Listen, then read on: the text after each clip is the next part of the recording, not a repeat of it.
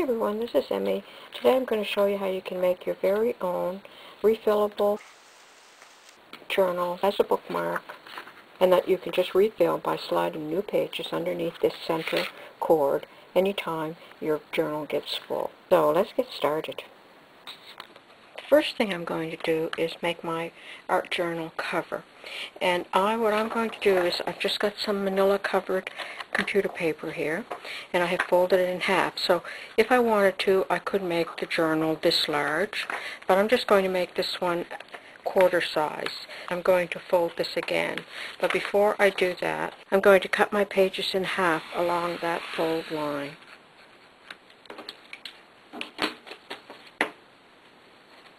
And then I'm going to stack all my pages together and I'm going to fold them again keeping them as straight as possible.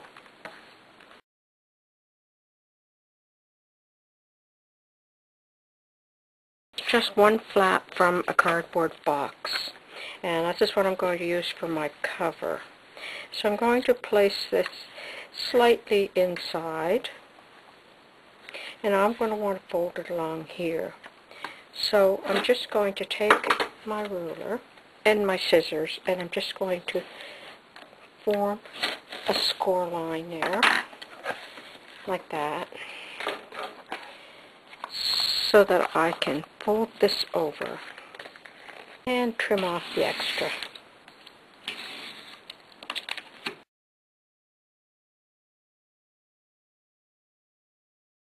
I'm going to cover the entire book cover the front and the back so I have this piece that is going to fit and it's going to meet in the center here.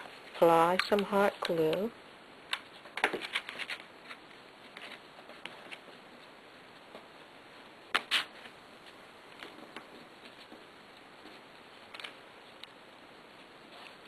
I'm going to do this side as well.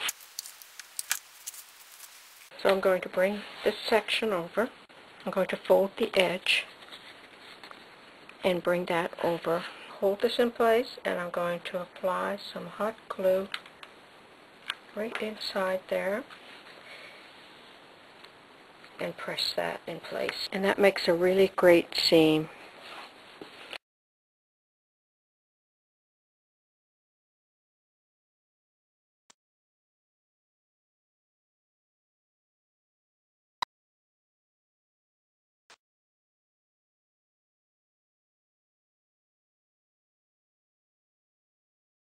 So there's the spine.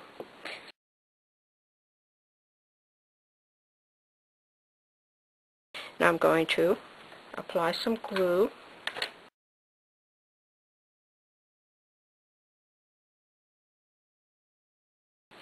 And there's my cover.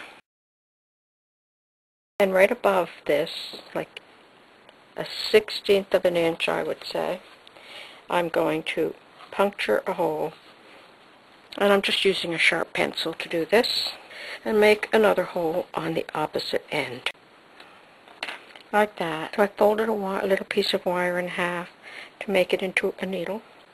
I jute through one end and then through the other side like that. That's going to be the inside of the book and this is the outside. And now I'm going to bring these two ends together. I'm going to tie this into a square knot, making sure that I have it really quite tight.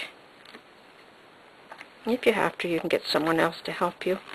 To fill up my book, I'm simply going to pass my stack of pages under this jute like that. You can refill your book at any time. Here's the knot on the outside of the book and I have just put some little beads on the ends and then just tied a knot.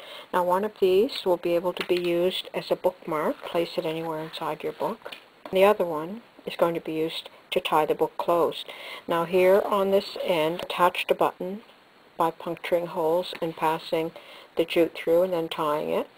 So then to close the journal, all you do is bring this tie around and twist it around the button. I have here one of the little watch pockets from an old pair of jeans. I could glue this pocket on the inside of the journal, but instead I'm going to glue it out on the outside. I'm going to place it in position, and I'm going to put an ample amount of glue underneath. I'll just do one seam at a time.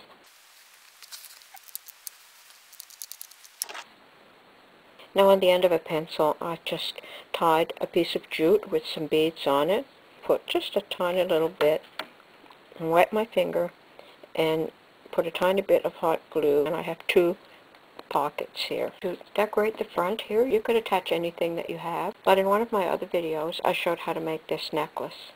So I could attach this pendant on the front of my journal like that. Or you could attach my Tree of Life pendant Click here to find out how to make this Tree of Life pendant, or you could attach any of these, which I've shown also in another video. Click here to find out how to make these.